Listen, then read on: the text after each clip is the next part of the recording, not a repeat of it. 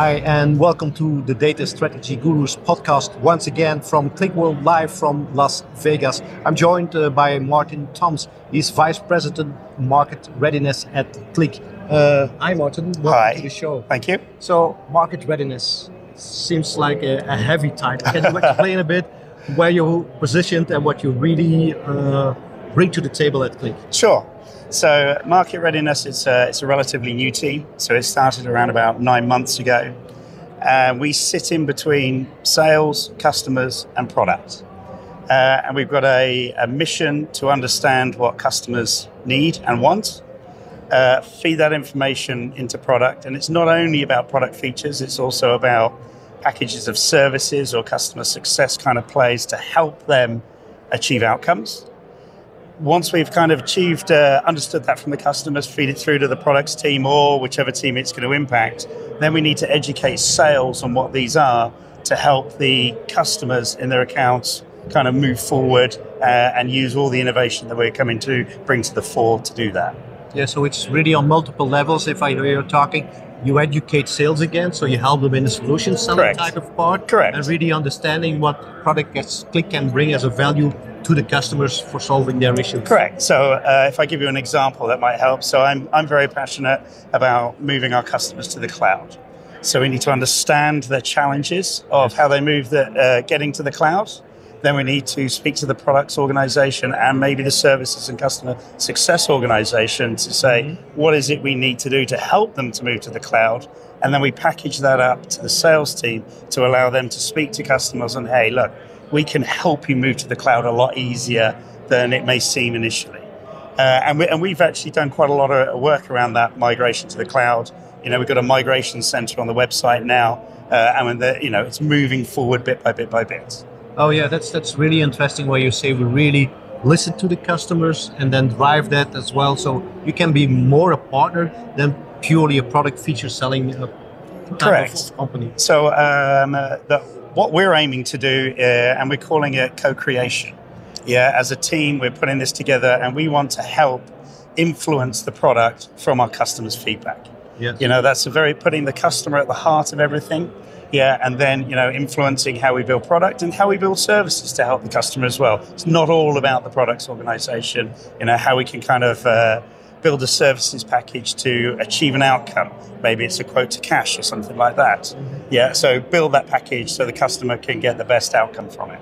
Yeah. And you said, uh, well, you mentioned already the, the cloud journey where you're helping them. Which are the most relevant issues or problems customers are facing, not only moving to the cloud, but using data to get the insights? Yeah, so the the first thing is um, if I rewind a couple of years, uh, we would find that there were a lot of customers that um, didn't want to move to the cloud. You know, and we had a phrase, you know, never will I ever was what, what we used to hear. And then the pandemic would come along, and now the acceleration is there. Okay, and some of the challenges we have is uh, they want to go immediately you know, and you have to plan this out carefully. You have to work out, you know, because it's it's not a big bang approach. You need to do it in a methodical process that works best for the customer, whether it be department by department or, for example, in the Qlik, you know, we've got these applications. Maybe it's the most prolifically used application that kind of moves first. Yes. So it's understanding what they want to do, but it's providing a path for them to do that. And we've got steps to follow. So we've got a, a what we call multi-cloud, which is a hybrid mode. So you can instantly, very, very easily get a cloud tenant, push applications up into there and consume that. You know, this can be done in, in a matter of days. Oh, so yeah. that's very important to do because you get the value immediately. What you don't want to do is kind of delay First all of that, then and then later. that's right. So you know things like that. That's very handy for us. You know, market readiness to understand and help customers. Yeah, so mostly because they see they have a lot of costs, and due to the pandemic, they want to decrease the costs and be more agile. And then they think big bang approach. Let's put it in the cloud, but it's a different architecture and a different it way is. of, of creating, well, gathering the data, uh, making it available and consumable uh, to the end user. Yeah, so um, it- absolutely, it's um, it's a it's a new approach, a new way of thinking to things. You know, you also have AutoML there, you have application automation there. You know, uh, Qlik, we solve business problems, you know, better than anyone. But now you've got new tools to solve that problem. So there might be a smarter, faster way to solve that problem. So you need to take these into consideration when moving. So yeah, the existing solutions need to be rethought. Sometimes. The new tools. Sometimes. Yeah, sometimes. Yeah, yeah, sometimes. Yes. Yes. yes. And where you say we were working in a co-creation kind of way with our customers, where you saw that the feedback that the customers had fed back into the product, where did you see some customer success stories? Oh no, absolutely. You know, the the very very early stages of uh, of market readiness and the co-creation. You know, the, we've generated the migration center, which is on uh, uh, help.qlik.com. You know, and that is a step-by-step guide on how you migrate. Before, there wasn't. So we yes. were asked, you know, well, how do you want me to migrate? How do I? What do I need to do? What are the steps? What are the considerations I need to do? So we have laid this out uh, on our help site to be able to do that. So that was the kind of iteration one of that. But now we're having, you know, we've had. I've been so lucky to have so many one-to-one conversations with customers here. Yeah. Uh, you know, at uh, Qlik World, you know that we've learned so many different things. You know, we've got a, a lot of work ahead of us. I have to admit. So things missing or different insights or no, it's, problems it's, they're facing? Yeah, no, it's um, customers do such a variety of different things. Whether it's uh, an application to kind of procure something, or as the the application to, as uh, as we explained here, we, we supported the uh, Ukraine refugees, kind of moving, making sure yeah. aid gets to them. It's it's ve- so varied, you know. And the one uh, our partner Merwork has created a product based on Qlik which is now in the leader of a completely different Magic Quadrant. So there are such a variety of things you can do. Yeah, so uh, you know we're trying to understand, group some of these problems together, and, and try and solve them. Uh, what we are learning is it's it's very rarely product features. It's more about how to do it. How do I go about doing things? Oh yeah. Yeah. So uh, you know those are the conversations we're having, which is great. And people, you know, again, another acceleration is AutoML machine learning and AI. Oh, yes. It is taken off. If you're not using that or you're not considering using it, you're going to be left behind. Is how I'm feeling right now. Yeah. You know, but that's suddenly come up overnight. If again, if I look back to about last year, uh, customers were a little bit hesitant.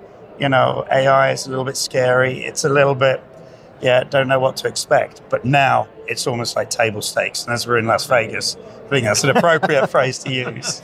Yeah, we saw it in, in, the demo this morning how they were showing the insights with the AutoML, and it's it's really amazing at what speed you can do that. Absolutely. And before, the, these were the kind of industry models what you had, but you still had to do a lot of uh, manual mapping and understanding the model as such. Where now AutoML is kind of guiding you in that way to get these insights. Yeah, no, absolutely. I mean. Um, ChatGPT is everywhere. Yes. Yeah, and we're and we're still on the. I would say we're still well on the hype of uh, hype of all of this. Exactly. But one of the things you learn very quickly from ChatGPT when you see all the all the messages and everyone kind of says, "Hey, it's not doing this correctly." You know, it doesn't do square roots correctly. It doesn't do mathematical equations correctly.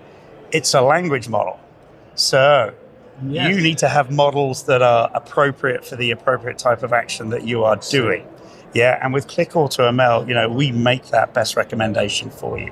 So you know, that's an easy step for a customer to take. So in that, if I understand, you have the contextualization of the language models what you you handle whatever it might be doesn't it you know there's language there's mathematical you know yes, you yes, really don't want context what i yes absolutely the context you don't want chat gpt driving your car yeah but you might want to talk to your car through a chat gpt model but not have it control the car yeah, and where do you see? You said you learn a lot now with talking to the customers here at Qlik World. Uh, what, what do you see where the, the roadmap is going? And, and you said we still have a lot of work on our plate uh, yes. to go to. So yeah, so I mean, say the top three or top five type of things what you are looking or thinking about to implement in the product in the future. So, so it's less about the product for me. That's more James's kind of James's kind of role for that. Yes. Yeah, yeah. So what I'm looking for is um, how to help people get to the cloud again. You know, we yes. kind of covered that in detail. But, you know, what we find is um, customers, um, they've got, got to start to trust the data. You know, and I keep coming back to, you know, you build layers of trust, governance, whatever it is, and you've yes. got to get that trust layer right. You know, and the, what I keep telling myself is if I haven't got that trust uh, and that data correct, if I put a machine learning module on there. I don't know where it's going to take me. Yeah, so certainly it's kind of educating customers and using our data integration tools along with our analytics tools to make sure that that first step is as best as it possibly The can be, and then you will build on top of that, and then you will then you've got a path to success, you know, and then you can start using AutoML and be prolific throughout your organization. But start with the basics. Start with the basics. Yes. absolutely. Okay, uh, Martin, was really uh, nice talking to you. I have a one last question. Data connects us all, but music connects us as well. So, what is your favorite type of music or favorite band? My favorite band uh, that is Guns N' Roses. Guns N' Roses. Yes, Okay, and you saw them live very likely. uh, a long time ago. A long time ago. I might have had a bit more hair at that point, but uh, but yes, it was Guns N' Roses. I want to say late '80s, early '90s. yeah. Okay, Martin, thanks very much for Thank you very much. Thank Thank you. you.